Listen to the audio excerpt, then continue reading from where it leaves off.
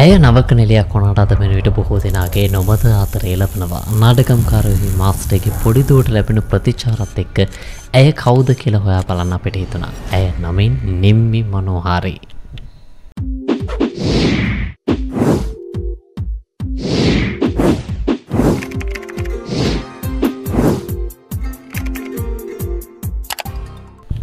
නිම්මි කොහෙද ගම?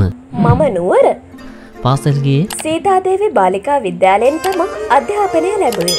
නිලියක් වෙන්න බලාගෙනම දෙගෙන ගත්තේ නිලියක් වෙන්නම කියලා හිතාගෙන උන්නේ නැහැ. ඇබැයි පාසලේ මාතය ඒකගේ එක්ක එකතු වෙලා වැඩ කළා. කාලයක් මම නිවේදිකාවක් හැටියටත් කටයුතු කළා. ඇයි නිවේදන වෘත්තය අතහරන්නේ. මගේ අම්ම හෙදියක් තාතා ඉදිකරම් ශේත්‍රයේ ඉන්නේ. අම්මගේ අධ්‍යාපන කටයුතු වෙනුවෙන් විදේශගත වෙන්න වුණා.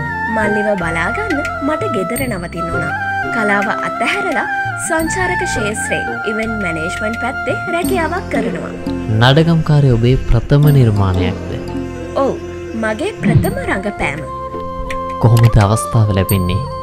මගේ ඥාති සහෝදරයකුගේ මාර්ගෙන් නාට්‍යයේ අධ්‍යක්ෂ චාමර අයියව හඳුනා ගන්නවා. ඊට පස්සේ ඔඩිෂන් එකකින් තමයි මාව තෝරගන්න. මේ චරිතය ලැබුණා මොකද හිතුනේ. හිතාගන්න බැරි වුණා. මොකද රංගනය ගැන කිසිම අත්දැකීමක් නෑ. නමුත් නර්තනය ගැන යම් හැකියාවක් තිබුණ නිසා රඟපානව කියලා හිතුවා. චරිතය ගැන දැනගෙනමතකී. ඕ මගේ චරිතය ගැන ලොකු අවබෝධයක් ඇතුවමයි ගිය. හිතේ බයක් එහෙම තිබුණ නැද්ද. ඇයි නැත්තේ මගේ දෙමාපියෝ මීනා කුමාරි සහ ප්‍රසංජිත්ස. මගේ සහෝදරිය සෙනාලි ෆොන්සේකා. මේ අය අත්තරේ මම පුංචි කෙල්ලෙක්. ප්‍රථම අත්දැකීම දැනුනෙ කොහොමද යාට. මගේ පවුලේ අයත් සමඟ ගෙදර සිදුවීමක් මුලින්ම රූපගත කළේ. මම බයෙන් ඔන්නට ප්‍රවීණ නළුනිලියන් කීප දෙන මගේ බය නැති කළා. විශේෂයෙන්ම ප්‍රසංජිත් සර් අඩුපාඩු කියල දෙන ආකාරයට මගේ බය නැතිවෙනවා මටවත් දැනුන නෑ. ඔබ මාස්ටයක දුව වගේ කෙනෙක්ද. මමත් සැහැල්ලුවෙන් දඟකාරකමින් එන යුවතයක් කියල කිව්වත් නිවැරදි. පස්සකේ යනකොට ලැබෙන ප්‍රතිචාර ඉහලයි. නෝරයිදම්මද නිම්මි ෂූටින් වලට එන්නේ ඔවු දවස් දෙකතුනක් ශුටින් තියෙනවා නම් කොළඹ නවතිනවා. රක්ෂාවට කවුද ඔයත් එක්ක ඉන්නේ. මුලින්ම ගෙදරින් කවුරුහරි එනවා නමුත් නාඩගම්කාරයෝ සමඟ වැඩ කරනකොට කිසිම ප්‍රශ්නයක් නෑ ලොකු ආරක්ෂාවක් තියෙනවා ඒ නිසා මම තනියම එනවා.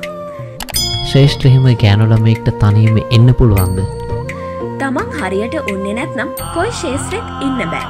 මතක තියාගන්න ඕන හැම වෙලාවෙම තමන්ගේ ආරක්ෂාව තියෙන්නේ තමන් ළඟමයි කියලා. වාදිකට මරඟ පානවද. අනිවාරෙන්මයි. මොනවද නිම්ම අතින් සිදුවෙන අඩු පාඩු. මුල්ම දවස්වල ඩයිලොක් මතක නැති වෙලා තිබුණා ඊට පස්සේ කටපාඩම් කළා. නමුත් ශරිතය හිතෙන් මවාගෙන රඟපාන හැටේ ප්‍රසංජිත් සර් කියල දුන්නා. සමහර වෙලාවට කැමරා කීපයක් තියෙනවා කියලා මට අමතක වෙනවා. අඩුපාඩු හදාගෙන තමයි මේ ගමන ඉස්සරහට එන්නේ. වෙනත් නාට්‍යවලට සම්බන්ධනේ නැද්ද. ඒකාංගික ටෙලිනාට්‍යක රඟපෑවා. වෙනත් නාට්‍යවලට නම් කතා කරලා නැහැ. වගේ චරිතය ඉස්සරහට කොහොමද විකාශනය වෙන්නේ. මලින්ම වැඩිපුර සද්ද නැතිව උන්න කෙල්ල දැන් හොඳ කටකාරයක් වෙලා. ඉදිරියේදී ප්‍රේමවන්තයක් වෙන්නත් පුළුවන්. දිගටම බලාගෙන ඉන්නකෝ. ඉස්සර දම්ම නාට්‍ය බලනවද.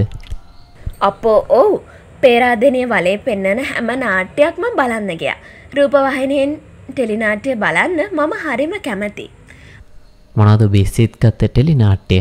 තනමල් වෙල කොල්ලෙක් මාර කැමත්තෙන් බැලුවා කුමියෝ සහ බැද්ද කොළවමිය කියන නාට්‍යවලටත් මම හරිම කැමති. කලාලෝකයේ ඔබට වියරයෙක් වුන්නාද. මම මුලින්ම ආදරණය වත්සානය බැලුවේ මට මොකුත්ම නොතේරෙන කාලේ.